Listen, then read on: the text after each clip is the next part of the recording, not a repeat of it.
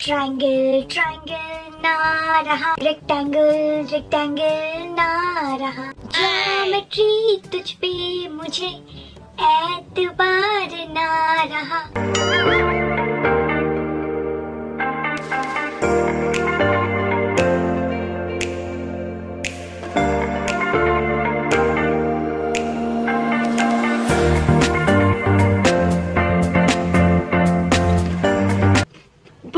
स्वाद रहा जी स्वाद रहा या क्या यमी फ़ूड है जी यमी हेलो गुड मॉर्निंग कैसे हो आप सब? Welcome back to my channel guys मेरे गले के अंदर शायद ब्लडी मेरी का भूत घुस गया है, जिसकी वजह से ऐसे फटा भोपू जैसे आवाज़ आ रहा है। आज मैं आपके साथ फिर से शेयर करने वाली हूँ एक अतरंगी फ़ूड चैलेंज और इस चैलेंज का रिक्वेस्ट आप ही में से एक फ़ैन मेंबर ने मुझे किया था, जिनका नाम है कृष्णा घोष। के वीडियो में करने वाली हूँ geometric shape food for 24 four hours यानी ज्योमेट्री में जो डिफरेंट शेप्स होती है square parallelogram rectangle circle cube, sphere, etc. etc. ऐसे शेप में मुझे खाना खानी है 24 घंटे के लिए खाना है।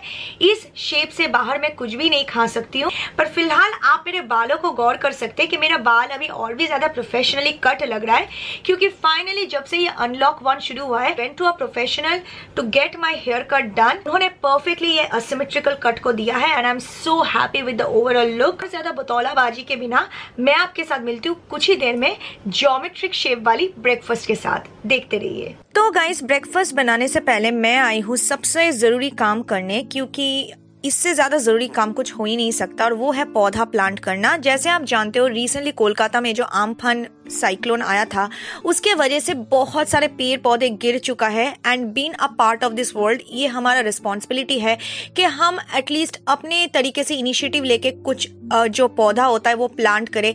भले ही वो गार्डन में हो, जैसे मैं कर रही हूँ, यहाँ फिर आपके बैल्कनी में हो, कहीं पर भी हो, हर एक छोटा प्लांट हो या बड़ा प्लांट हो, वो कुछ ना कुछ ज़रूर हेल्प करता है क्योंकि without plant no one can survive in this world तो मैं वही कर रही हूँ, यहाँ पर मैं आम की जो बीज होता है, उसको प्लांट कर रही हूँ मम्मी की मदद से, क्योंकि मेरी मम्मी को गार्डनिंग की बहुत शौक है तो उनको बहुत अच्छा नॉलेज है तो मैं उन्हीं से हेल्प लेके प्लांट कर रही हूँ।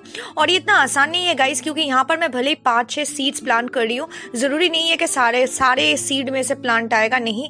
आइधर एक में से आएगा या दो में से आएगा मतलब इट टेक्स अ लॉर्ड बच्चों के पीछे आपको टाइम देना पड़ता है पेड़ पौधे को ग्रो करने के पीछे टाइम देना पड़ता है।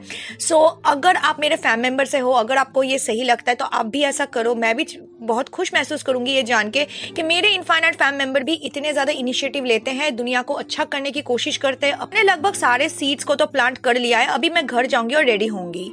जैसे आप देखे हो गाइस आज का वीडियो मैंने विदाउट एनी मेकअप शुरू किया है and there is a reason behind it जैसे आप जानते हो कि मैं बहुत ज़्यादा ऐसे शूट वगैरह करती हूँ 24 फोर आवर चैलेंजेस करती हूँ, जिसकी वजह से मुझे लेट नाइट तक जागना पड़ता है, और इसका असर सबसे ज़्यादा दिखता है मेरे अंडर आइज़ एरिया पे, क्योंकि मुझे बहुत ज़्यादा dark circle tired dull under eye areas हो जाते हैं। गाइस ये बहुत ही ज़्यादा ज़रूरी है कि मेरी आँखें जो है वीडियोस में फ्रेश दिखे। अदरवाइज़ मेरी पूरी अपियरेंस जो है बहुत ही ज़्यादा डल लगता है। कोई नेचुरल बेस्ड आई क्रीम ही तलाश कर रही थी, क्योंकि आँखों का जो एरिया होता है बहुत ही ज़्यादा डेलिकेट और सेंसिटिव होता है।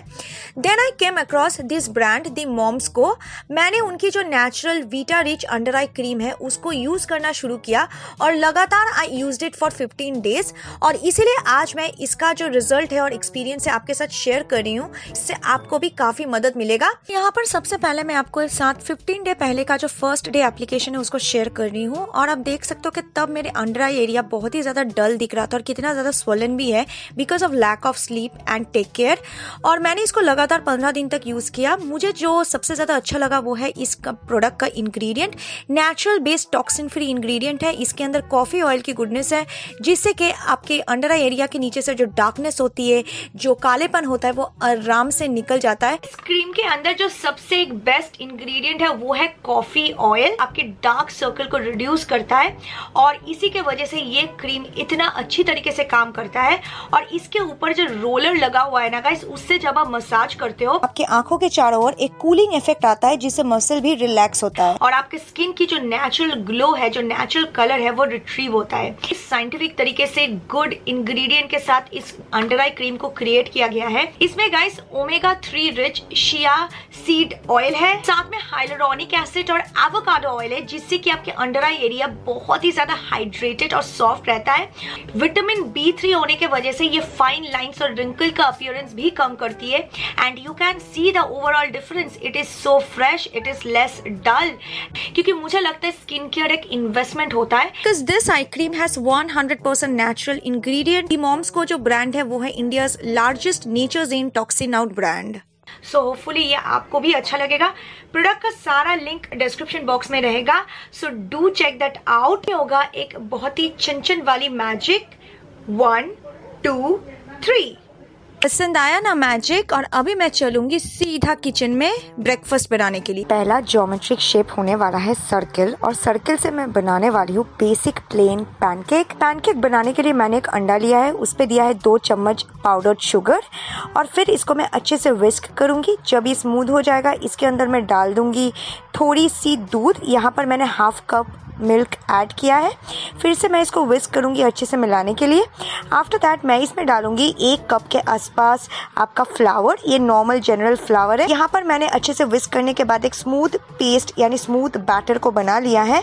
और फिर मैं इसमें डालूँगी थोड़ी सी baking powder one fourth spoon is more than enough आप देख सकते हो, हल्का सा जस्ट चुटकी भर आपका सॉल्ट और सारी चीज़ों को मिक्स कर दूँगी। फाइनली मैं ऐड करूँगी एक टीस्पून वेजिटेबल ऑयल फिर से मैं ये सारे बैटर को अच्छे से मिक्स करूँगी और हमारा बैटर बिल्कुल तैयार हो गया है।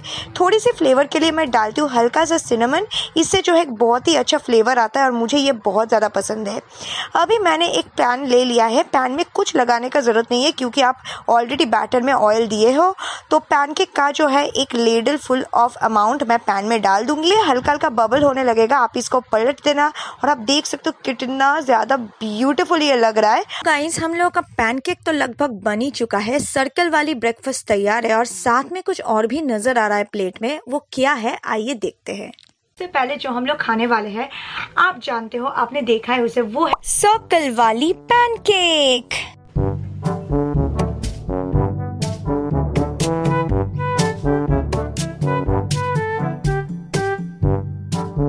सर्कल वाली पैनकेक तो एक हमने खा ली अभी जो हम लोग खाएँगे वो है ये रोम्बस वाली काजू बर्फ़ी। क्या स्वाद है? माँ कसम, काजू बर्फ़ी मुझे बहुत पसंद है। मुझे मीठा ज़्यादा पसंद नहीं है। ये मत सोचो कि अचानक से पसंद आ गया ये वीडियो के लिए। बिल्कुल भी पसंद नहीं है। कुछ कुछ मीठा होता है ना, जैसे पायश, काजू के बर्फ़ी। मुझे बहुत अच्छा लगता है। पहली बार, मैथ देख के मुझे टेस्टी लग रहा है। अच्छा लग रहा है यमी लग रहा है। तो गाइस मैं लेके आ चुकी हूँ मेरी दोपहर का लंच मैं आपको एक एक करके दिखाऊँगी, खाऊँगी और बताऊँगी। फ़िलहाल तो आप नज़र दे ही सकते हो। फाइनली मैं अपनी लंच लेके आ चुकी हूँ और लंच में मैं क्या खा रही हूँ? रेक्टेंगल वाली फ़िश फ्राई रेक्टेंगल वाली फ़िश फ्राई के साथ मैं खाऊँगी ये सर्कल वाली ऑनियन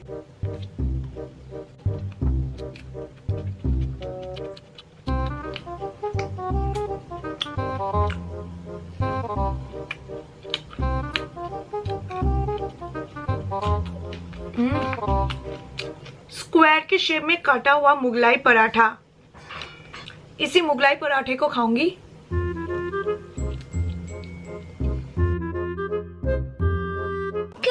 मुगलाई रे रे मुगलाई जब तुझको खाया मैंने जाना तेरी स्वाद रे।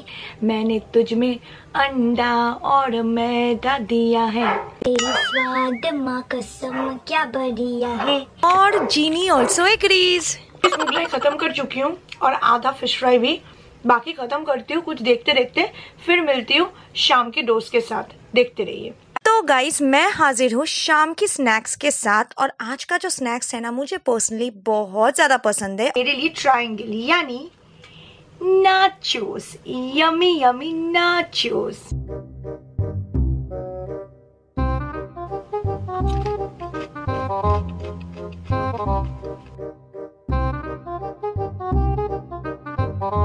rectangle वाले ऐसे टब में रखा गया है ताकि रेक्टेंगल शेप रहे।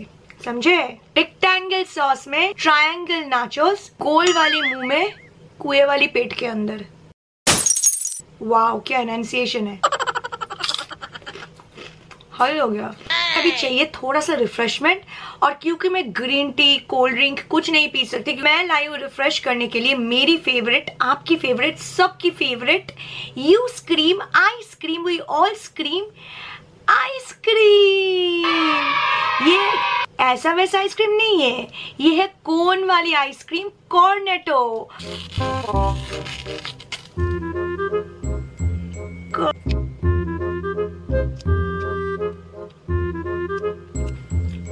इसको गुड बोलने की ज़रूरत नहीं है। सबको पता ये गुड नहीं है।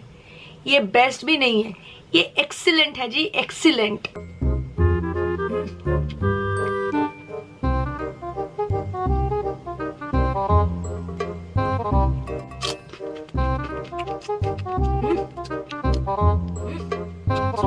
थोड़ा कुछ मूवी देखते देखते, काम करते करते खत्म करती हूँ, फिर आती हूँ, ये सब मेकअप वेकअप उतर के एकदम रात के डिनर के साथ देखते रहिए।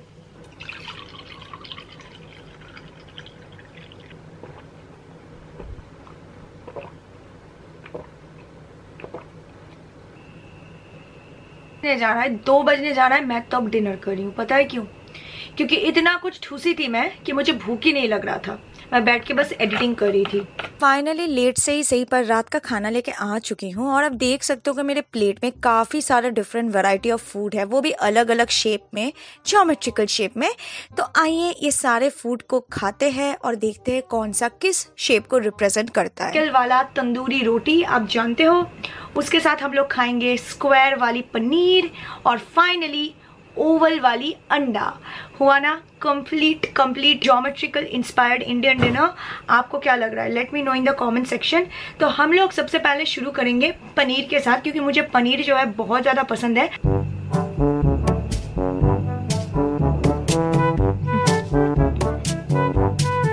अगर आप सोच रहे होंगे कि मेरी नेल पॉलिश कैसे चेंज हो गया है तो मैंने अपने फेक नेल्स को निकाल दिया है फिर से।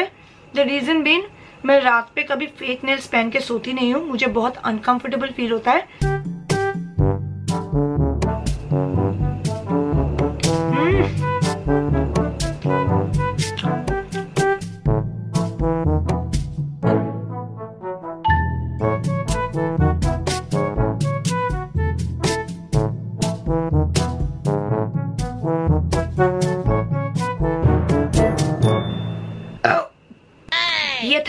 ज्योमेट्रिकल डकार ओके तो अगर आपको ये वीडियो अच्छा लगा है, अगर आपको ये अतरंगी चैलेंज अच्छा लगा है तो मेक श्योर sure कि आप वीडियो को लाइक करें चैनल को सब्सक्राइब करें।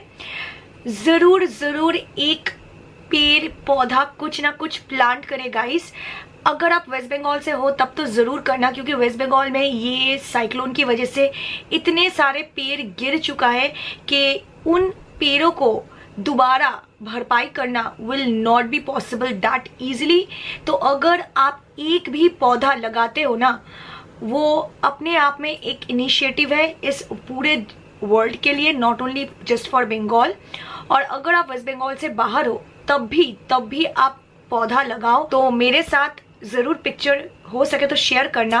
And I will feel really really glad that we have such an amazing infinite fam members और हाँ नीचे अगर आपने अभी तक चैनल को सब्सक्राइब नहीं किया है, क्या कर रहे हो सोना अभी सब्सक्राइब कर लो. और अगर किया है तो नीचे ज़रूर मेंशन करना. हैश टैग इनफाइनाइट फैम और मैं आपसे मिलूँगी गाइस नया एक वीडियो के साथ. बहुत ही अच्छे से रहिए. Take care bye good night